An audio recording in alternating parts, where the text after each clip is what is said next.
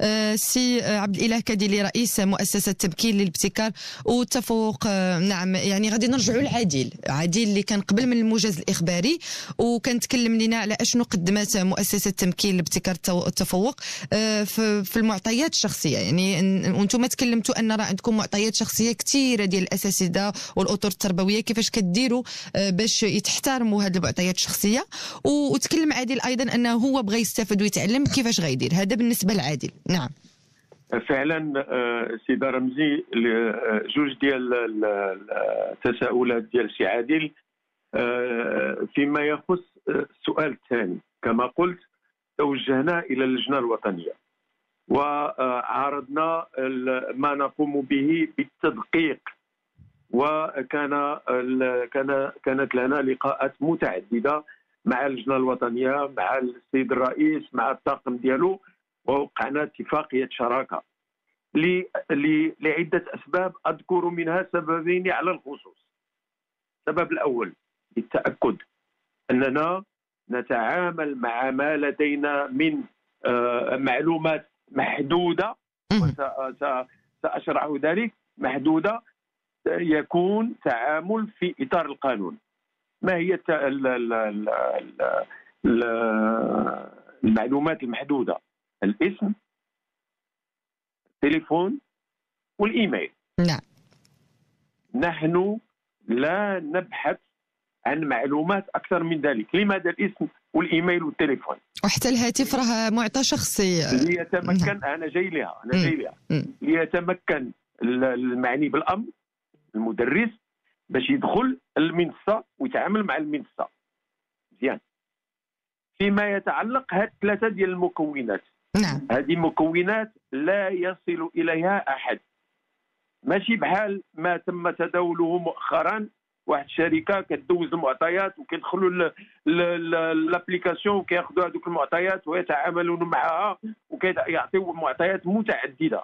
المعطيات التي تتعامل معها مؤسسة التمكين تقوم بها في إطار القانون. ثانيا إحنا ما كناخذوش المعطيات عن طريق le site web de la fondation. le site web de la fondation الموقع على الانترنت ديال la fondation ما كيطلب وما كياخذ اي معطى على عكس ما هو قائم بالنسبة لما تم تداوله مؤخرا نعم معطيات محدوده جدا في اطار القانون اتفاقي المعطى الثاني من خلال اتفاقيه الشراكه هي المساهمه في توعيه المواطن ان المعطيات الشخصيه هي معطيات يجب أن يحافظ عليها وأن يتعامل معها بحذر ويجب حمايتها. نعم. اذا أينما ذهبنا فيما مشينا كنديو معنا الكتيبات كنديو معنا المنشورات كنديو معنا نوعي المواطن. نحن نقوم بعمل nous entreprenons une action citoyenne. نعم. يعني المؤسسة ديالكم كتحترم الخصوصية ديال الأشخاص. نعم. تماما. نعم. وقد نشرنا يوم الاثنين هذا الفريق فيديو على الموقع الالكترون على الموقع على الإنترنت وعلى صفحات المؤسسة في التواصل الاجتماعي بالعمل بتوقيع اتفاقية الشراكة مع اللجنة الوطنية ومع اللجنة ديال ديال الوصول إلى المعلومة. الحق حق الوصول إلى المعلومة. هذا بالنسبة للسؤال الأول أو التساؤل الأول ديال الاستاذ الأستاذ آه، عادل. عادل من دار البيضاء التساؤل الثاني ديالو هو فعلا تساؤل تساؤل وجيه جدا. ماذا نقوم به؟ نحن ماشي غير درنا المنصه آه، الأولى والثانيه ونحن الآن بصدد إطلاق المنصة الثالثة غير الاطلاق منصه لا ابدا. لأن عندنا عمل بيداغوجي للتكوين للتاطير التاطير بالنسبة للدراسة ولكن كذلك التاطير بالنسبة لطريقة استعمال المنصات.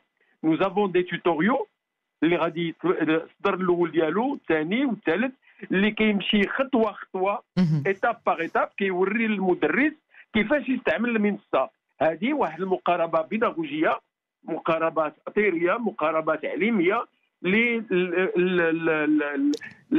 لمن ما عندوش إلمام ما عندوش علم ما عندوش تكوين في مجال استعمال تقنيات الاتصال والتواصل.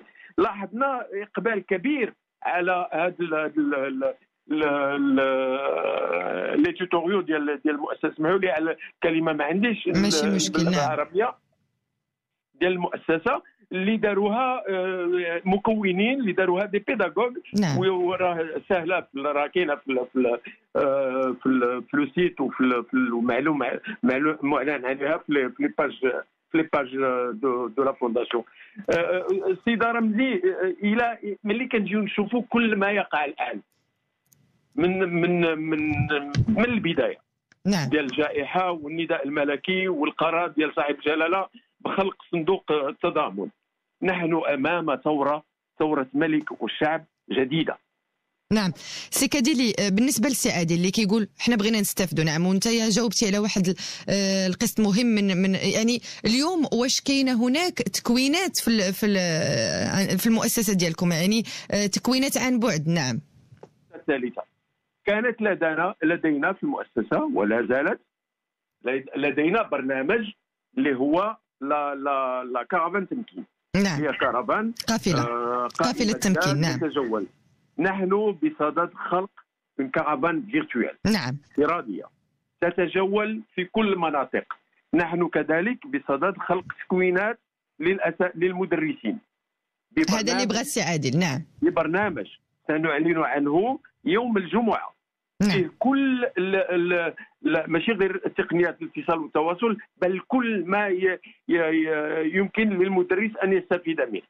هذا هذا بالنسبة أعتقد هذا هو هذا اللي كان نعم. نعم.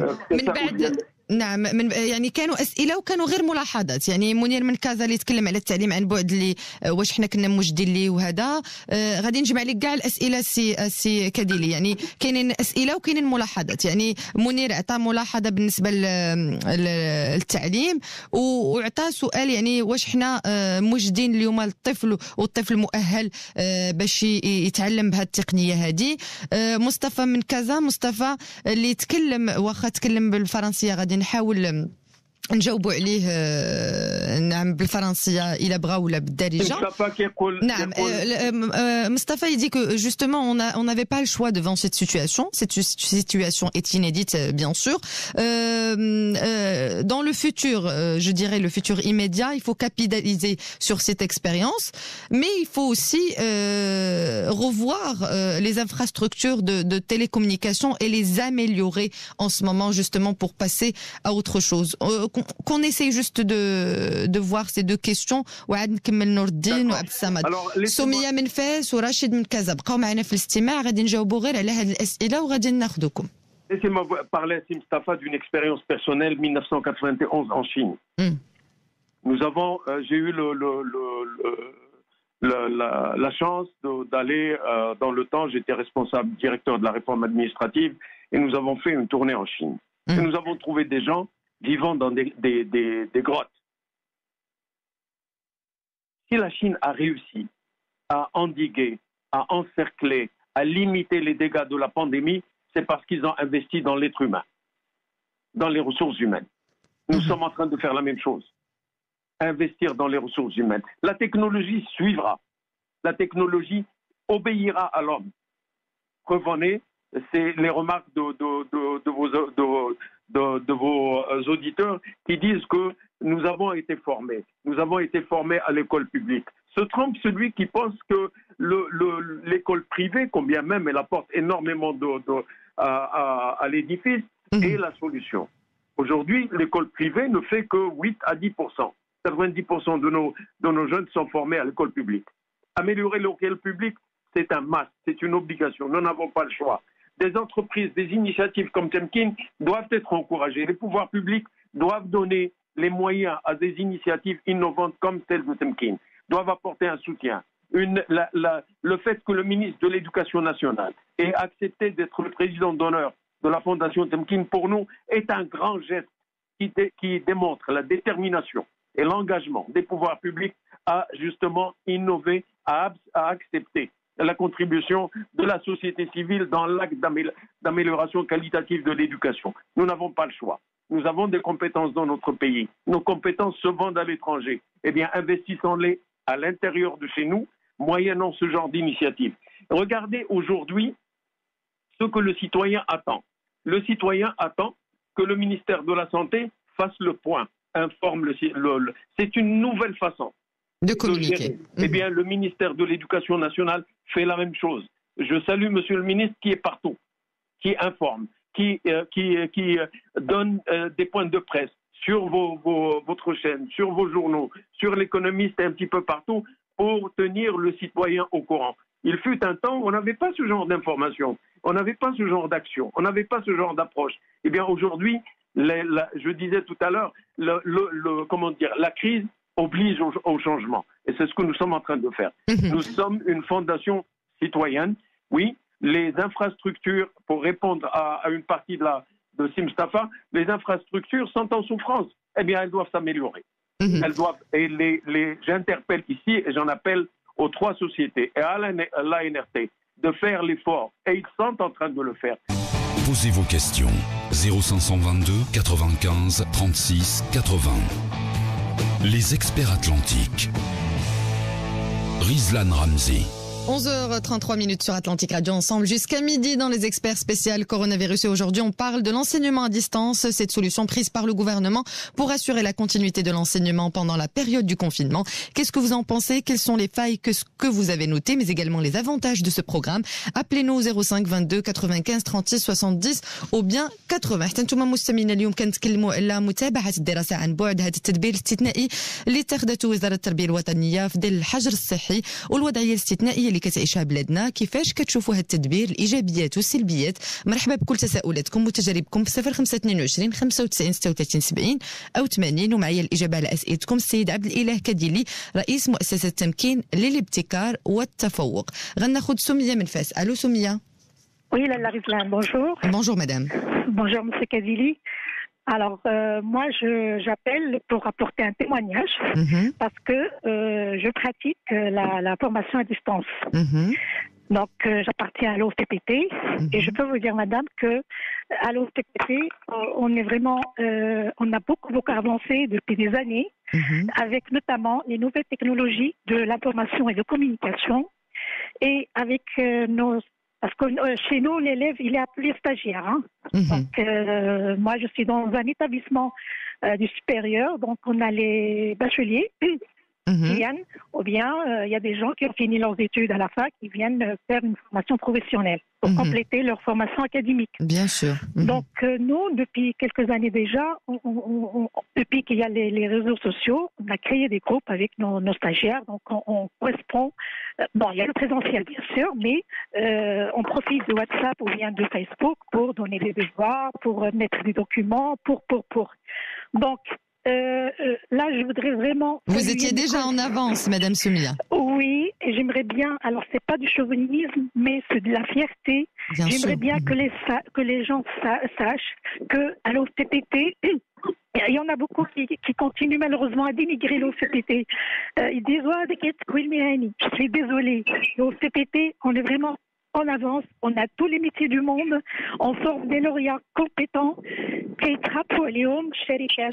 à la fin de chaque année, à la fin de l'année de formation, de la liste des lauréats, ils embauchent les gens de l'OFPP, ils trouvent du travail vraiment plus facilement que les gens qui ont une formation uniquement académique. Mhm. Je dénigre pas bien sûr la formation académique, mais j'aimerais bien euh, apporter ce témoignage et mhm. euh, pour pas pour pas que, certaines personnes continuent à dénigrer l'OCPP. Et là aujourd'hui, Madame Soumia, vous êtes euh, vous êtes en enseignement à distance pour vos vos étudiants? Tout à fait, tout à fait. J'y arrive. Et comment ça se passe? Voilà, voilà. Donc d'abord, j'aimerais remercier mes collègues qui ont mis euh, en quelques jours, ils nous ont mis en place une plateforme très pratique, facile à pratiquer. Mhm. Vraiment, on n'a pas eu besoin de formation. Ils nous ont envoyé notre adresse euh, électronique professionnelle mhm. avec le mot de passe. La même chose pour tous les stagiaires. Et le lendemain, elle était opérationnelle. Donc, euh, chaque jour, on a un calendrier. Chaque formateur établit ses horaires d'intervention sur un calendrier commun. D'accord? Alors, dès, par exemple que moi, je mets ma séance tel jour à telle heure, le, le, stagiaire, il est automatiquement avisé. Il reçoit une notification comme quoi il a cours avec moi tel jour à telle heure. Vous mhm. voyez mhm, Bien sûr, bien sûr. Mhm. Alors, sincèrement, euh, c'est pratique. Bien que l'homme est social par sa nature, bien sûr. Euh, nos étudiants nous manquent, la classe nous manque, mais vu la conjoncture actuelle, on fait comme on peut. mais, vraiment, pas seulement comme on peut, mais on fait très bien, très bien. sincèrement. Eh ben, très bien. Alors, d'un côté, je salue l'effort de mes collègues, tous mes mhm. collègues, et je suis très fière de nos étudiants parce qu'ils sont assidus, ils sont là. Quand on commence la séance, ils sont là. Et puis, euh, ça, ça me donne la chair de poule parce que ça les a responsabilisés.